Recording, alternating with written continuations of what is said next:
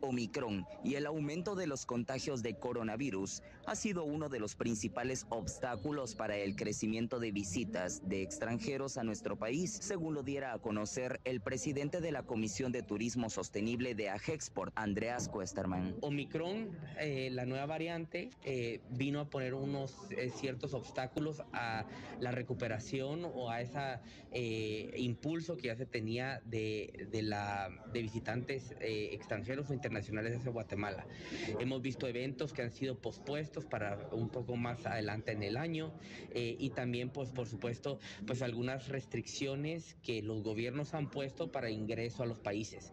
Entonces, todo esto viene a mermar un poco más en el primer trimestre del año, eh, esperando, viendo si eh, eh, realmente en el, lo que ven a hacer el, a partir del segundo cuatrimestre o el segundo semestre del año.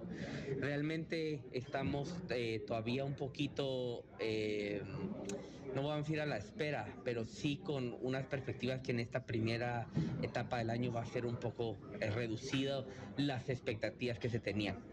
Estamos esperando la presentación del plan de INGUAT de trabajo para poder acompañarlo y avanzar con ellos en esos mercados donde eh, de mayor relevancia prioritarios para Guatemala. Por su parte, Francis Argueta, titular de la Dirección General de Aeronáutica Civil, fue positivo y aseguró que la época de verano, Cuaresma y Semana Santa 2022 podría ser un buen motivo para el incremento de visitantes del extranjero y el turismo interno, que podría generar la visita en distintos lugares de atracción que ofrece nuestro país. Definitivamente tenemos una expectativa muy grande. Si rompimos eh, los récords que podríamos imaginarnos ahorita en época alta de diciembre en temas de aviación, eh, tenemos mayores retos para el tema de Semana Santa. Ya los pasajeros pues están acostumbrados a los protocolos de bioseguridad, tenemos ya los pasajeros tanto internacionales como nacionales acoplándose a las eh, medidas de, los requisitos para ingresar al país. Eh, tenemos nuevas aerolíneas también que pueden ofrecer mayores opciones de, viajes con diferentes precios, diferentes tipos de mercado que, que están destinados y tenemos también trabajo trabajos de infraestructura que vamos a ir trabajando. Anteriormente en la conferencia de prensa, pues yo decía que me den seis meses para ver cambios significativos en la infraestructura del aeropuerto.